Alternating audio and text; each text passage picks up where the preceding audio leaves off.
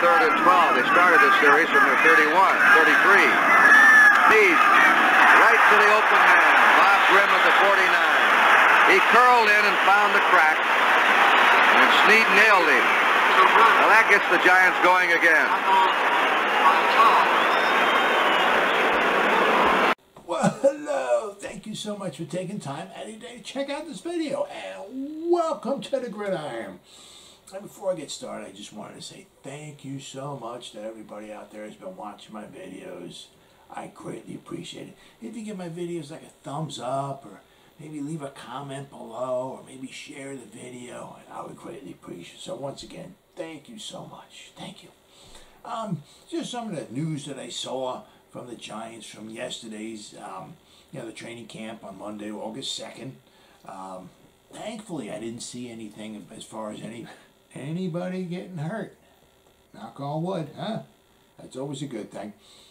Um, some of the things I saw, uh, the Giants did, you know, Alfred Morris came in, okay, and he was expected to sign, and they did sign him, so that's cool, right? Um, it gives gives a, lot more uh, some good quality competition at running back. Now he played for the Giants uh, last year, nine games. All right, he had 55 carries for 238 yards, so a little over four yards a carry. So with the offensive line we had last year, that ain't too bad.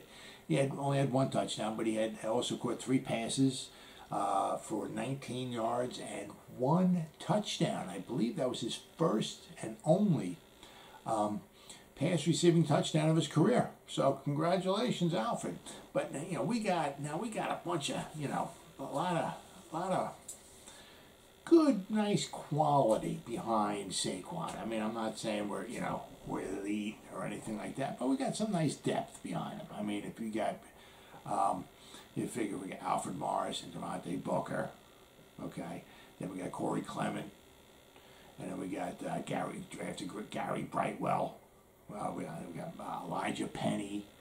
We got Mike Weber, uh, Sandro Platzgummer. Right? We got I said Alfred Morris, Saquon Barkley. So I mean, we got we got a, a lot of guys. That certainly doesn't mean that the, you know we're not going to keep bringing.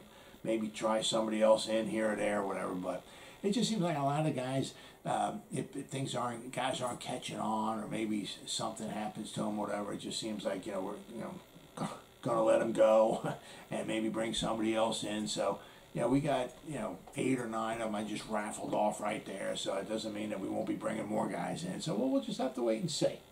But as of right now, Alfred Morris is on the team, and you know as uh, I was saying, if he he does make the team oh, good. I mean, you know, his experience, he's a good quality, experienced veteran who had some good leadership, you know, to the team, to the running back group, to the locker room and all that. The only thing is you're not going to get, you're not going to get no special teams play out of him. Now, you know, special teams is very important, you know, especially, you know, um, if you, you just if you just like a running back, you know. No, I'm just I'm just third string runner. That's all I do. I don't I don't do special teams, and I, I mean so it's, it's kind of tough to take up a roster spot, you know, if you, especially if you, I mean, like Daniel Jones, okay, you're not on special teams. Saquon Barkley, I get it. You're not, you know, Kenny Golladay. okay, I get it. You're not, you're not, you know, you can see some guys starting guys and all that not being on special teams. I can see that, but I mean, if you're a second or third stringer, so you know, and you're not going to be on special teams, that's you know that's pretty tough. But that doesn't mean he's, Alfred's going to make the team, but we'll have to wait and see. Um, they also Giants also hosted a couple other guys. They got a uh, former Mississippi State quarterback who turned tight end, guy named I never heard of before, Tommy Stevens. Right, he was seventh round pick uh, by the Saints uh, last year. All right, um, then they like kind of like he got signed by the Panthers. All right, uh, after he was drafted by the Saints. He's six foot five, two thirty seven. So it's a good size for a quarterback, but also six foot five is a good size for a tight end as well.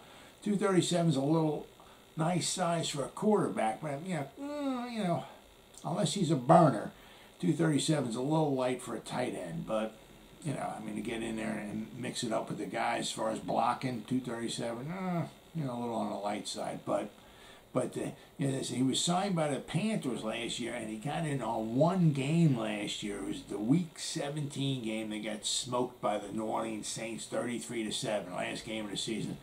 But he was listed as a quarterback, and the thing was, is somehow he got he got four carries as a running back for 24 yards, and he got two first downs. So he did pretty good as a running back. But I mean, so exactly what the Giants are going to use him as, I mean they got a ton of tight ends, unless they brought him in to try to replace Kelvin Benjamin. I don't know, you know. Um, so we'll have to wait and see what happens. Uh, then they got Andy. They brought Andy Jones in. He's 27 years old, six foot one, 220 pounds. He was originally signed by the Cowboys. He was on draft undrafted free agent in 2016. 2016 to 2018, he was with the Cowboys, the Texans, and the Lions. In 2019, okay, he was signed with the Dolphins.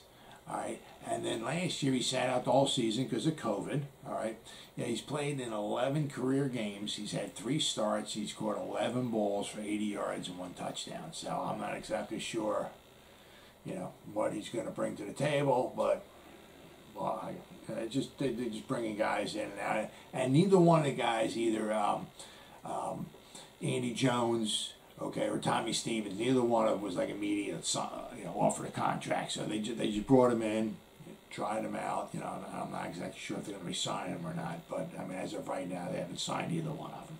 All right, but they, they keep bringing in warm bodies. So you, you can't complain if the Giants aren't at least trying. All right, you got you got to give them that. All right. Um, then they got um, they did sign they signed Joe Looney, so it looks kind of like that. Um, since they signed Joe Looney, right, Austin Reiter isn't. He apparently he came in and he talked with the Giants, but see with Joe Looney, he has a little more flexibility. He also has a little um, familiarity with you know obviously with Jason Garrett because he's coming from the, the Cowboys. But uh, Looney can play like center and guard. Now Austin Reiter, uh, you know, he's had some nice numbers, especially with the Chiefs. Very, very nice numbers. But he's more specifically just like a center. Okay, so we got, you know, we got Jonathan Harrison, all right, um, who's hurt, but when he comes back, we have you got Nick Gates, and you got Joe Looney, who can become center as well too. I mean, if you're going to bring Austin Reiter, yeah, how many centers can you have? I mean, you only got so many roster spots, and you can't sign, you can't have four guys on the on the roster that are going to be going to be a center, you know. So apparently, Austin Reiter, you know, uh, um, is going to have to look for a job elsewhere, because we got Joe Looney. So we'll have to wait and see. But anyway, the big news that I saw today was that uh, Joe Judge was talking about Saquon Barkley. I um, said that you know he's making making some pretty good headway. Uh, he's making some um, some tangible, what he, he kind of said, progress towards a, a, return to practice. All right, so that's good. Um, now, in the recent whatever weeks or whatever, uh, Saquon's kind of downplayed his return, so that there's a, a little bit of optimism that we could see Saquon on the practice field before Week One. All right, uh, you know, the regular season be, uh, when we play the, uh, the, the Broncos. All right. Um, though I mean, I, if he comes back to practice, I don't. I wouldn't anticipate him seeing him in any preseason games. Uh, we know what he can do. The only big question is, is you know, is he going to be fully healed up, ready to go? And the other question will be, you know, is it will, will be back to like 100% now? You see videos of him, you know, he posting videos and stuff of him, you know, doing some some moves and this, that, and the other thing and all. You know, you, you know, so I mean, it looks decent, but that's not in the regular season. So I, we'll just have to wait and see. Hopefully, he comes back. A lot of guys come back and they're just as good as they were before. So, I mean, uh, if uh, the operation all went well, you know, he's training as hard as he possibly can. I guess the way things are, you know, I guess we shouldn't, you know, hope, we should hope and expect, you know, hopefully that he comes back 100%. Now, if he can just come back 100%, that'd be absolutely fantastic. And I said, we're not going to, you know, see him probably in the preseason.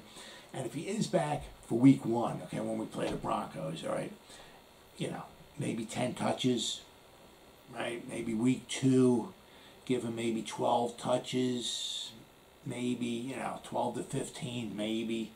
Week three, maybe 15, 16, 17 touches. Maybe maybe week four, you put him up to 20 touches or something like it. You know, it's I can't see him like you know week one give him 10 touches, week two give him 20, then give him 30. You know, I mean I can't see. I mean I, I can see like you know it's, it's a long season. this season got even longer because now that it's 18 weeks and there's 17 games. So you know, if we bring them back too soon and we wind up losing them in the third, fourth, fifth game or so, we got a long way to go. And it's not going to be a long, tough season without Saquon. So if we just bring him back very slowly, and if he can make it through the season, keep your fingers crossed, guys. It'd be absolutely phenomenal. Now, what I heard from a um, very reliable source is that apparently with Saquon in the lineup, okay, and, and when Daniel Jones is the quarterback, right, Saquon is equal to like an additional four points, right? So with Saquon in the lineup, the Giants score four more points with Daniel Jones as quarterback than when he's not in the lineup. So now if we can look back at last season, all right, gives us something a little, little, little, little something, something to look forward to here, okay? Now you got you got um, they lost ten games, right? Five of them were pretty much, you know, brutal losses. All right, we lost Arizona when uh, Daniel Jones, you know, came back and he basically couldn't move. Uh, we lost it twenty six to seven. Then we lost lost to the Browns twenty to six. Another phenomenal game by the Giants. Uh, then we lost, you know, the, the last game of the season that we lost, period. You know, our 10th loss of the season was to the Ravens, 27 to 13. That was another brutal game to watch. We lost the first game of the season to the Steelers, 26 to 16. Now, that wasn't quite as bad as it seemed. I mean, because we went for two points at the end, you know, when we scored a touchdown to try to close the gap to eight points. Well, if we, if we kicked the extra point there, it would have been 26 to 17, right? Uh, earlier in the game, Daniel Jones, we had the ball around the Pittsburgh two or three yard line. Daniel Jones you know, uh, threw an interception. You know, we would, you know, if he could just thrown the ball into the ground or just took a sack or threw the ball into the, into the 17th row or something like that, right? The Giants would have kicked the field goal, would have been 26 to 20. You know, I mean, so we lost by 10, but it certainly could have been closer than that. Uh, then, of course, then we we lost to the uh, 49ers and their like their 13th string team because uh, they were so badly beaten up. I, I, I, I don't know how we lost by 27 points to, uh, to the 49ers at home, but we managed to do that, right? So those are the five brutal losses.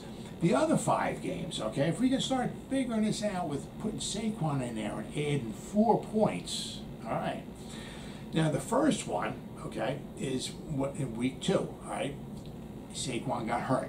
But he got hurt in like pretty much it was like the first play of the second quarter. So we can add so so three quarters of the game he wasn't there. So all right, so if he if he got add four points to that, all right, the Giants lost seventeen to thirteen. All right, add four points to that, it's seventeen to seventeen. End of the game, the Giants got down to the Bears ten yard line. It was third down and six with four seconds to go. We bring Graham Gano in the game. He kicks the field goal. We win 20 to 17. There's victory number one. Um, the one, well, we, game number four when we lost to the Rams. Now, if you add, we, we lost 17 to nine. Add four points to that at 17 to 13. At the end of the game, we're driving, and Daniel Jones has us driving down the field, and, but it's 17 to 13. A field goal wouldn't do any good. We still needed a touchdown, and uh, uh, Daniel Jones throws an interception Okay, so the game was pretty much over. But you know, we we, we had, we were close. We would have been close, but still we would have lost that one. Okay. But then you go to game number five against Dallas. All right, we lost 37 to 34. All right, bring Saquon in the game, give us four more points. We win that one 38 to 37. There's two extra wins we got. All right.